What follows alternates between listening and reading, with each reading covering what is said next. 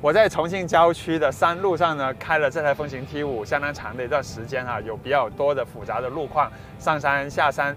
那我在这台车上呢，找到了既熟悉又有惊喜的感觉。那我先说惊喜吧，最大的惊喜来自于它的动力。这台车呢，我现在开的这个是一个 1.6T 的发动机，哎，1.6T。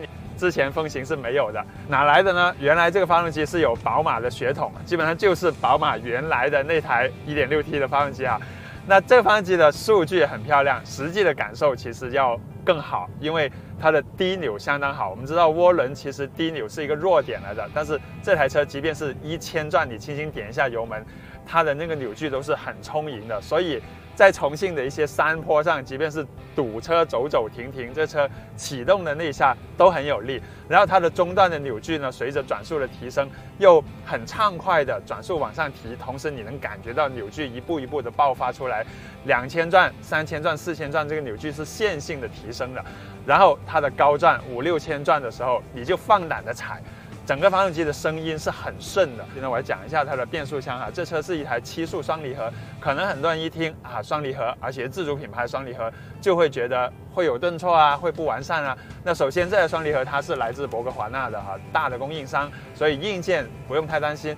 那第二点，它的整个真实的表现其实还是很顺很舒服的。它最大的原因呢，就是它的发动机够好，因为很多人都会单独去评价。